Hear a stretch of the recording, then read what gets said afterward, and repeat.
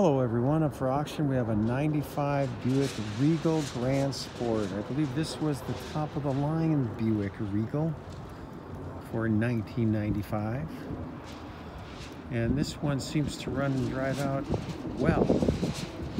Um, we're going to take a look around, see what we can see. A little bit of clear coat coming off here on the hood. And you can see the top has some of that going on as well.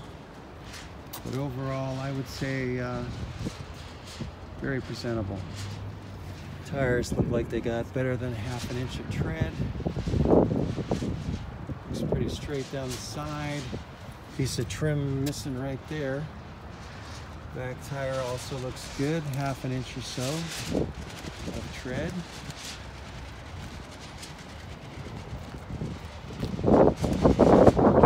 A little bit of uh, paint of it, fading there. But it's not all banged up.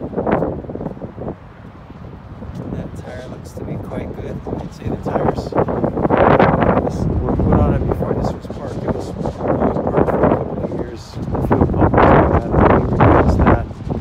We also put in starter. And I can't remember. You can see the seat is leather, a little bit cracked up on both sides.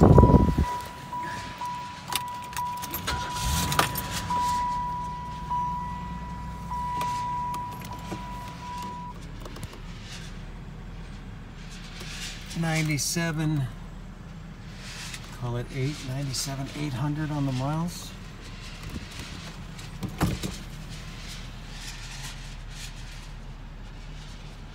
Air works. Haven't even tried the heater. Dash looks good.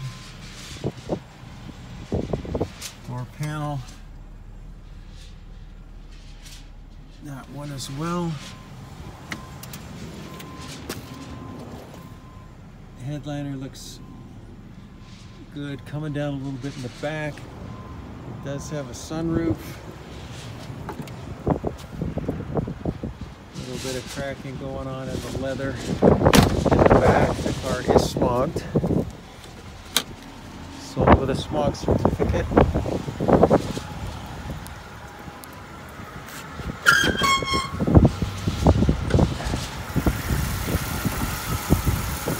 Thirty-eight hundred V6 made a million of these. Everybody knows how to work on them. Parts are easy to come by and not bad in price. Again, the car seems to drive well. The tires are a little lumpy and bumpy because again it sat for a little while.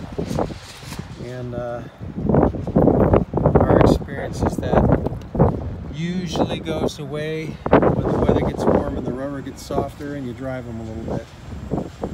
You can see a little bit of baking going on the back shelf there. Trim piece missing right here. Overall, a decent car for uh, the age under a hundred thousand miles. This car was donated to the Nevada Paralyzed Veterans. We sell our donated vehicles through an online auction called motobucks.com. You can bid there or you can download the app for iTunes or Android. Good luck, everyone.